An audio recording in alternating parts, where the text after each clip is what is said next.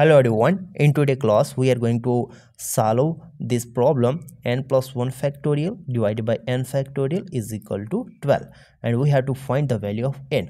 Before solving this we must know that what is n factorial? N factorial is equal to n times n minus 1 times n minus 2 factorial. We extend it to up to our required terms.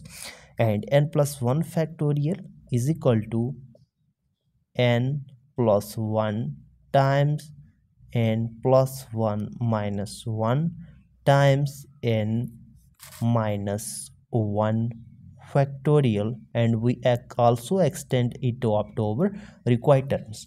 Now apply both formula on left hand side. We get n plus 1 factorial in place of n plus 1 factorial.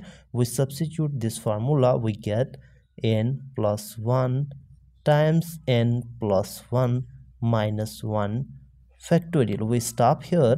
Divided by n factorial is equal to 12 now on the next step we get n plus 1 times n plus 1 minus 1 it become n factorial divided by n factorial is equal to 12 now we can cancel out this n factorial by n factorial and we get n plus 1 is equal to 12 now on subtracting 1 from both sides we get n is equal to 12 minus 1 which implies n is equal to 11 which is our target in order to find the value of the n.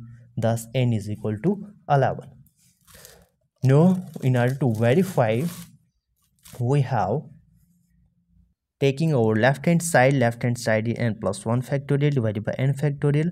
In place of n we put 11 we get 11 plus 1 it become uh, 12 factorial divided by n. In place of n factorial we put uh, 11 factorial is equal to 12 times 11 factorial divided by 11 factorial. We can cancel out this 11 factorial by 11 factorial and we get only 12 thus it is equal to our right hand side which means that n is equal to 11 is our solution of this equation. If you're new here make sure that you have to subscribe our channel for more maths video. See you in the next video. To learn bye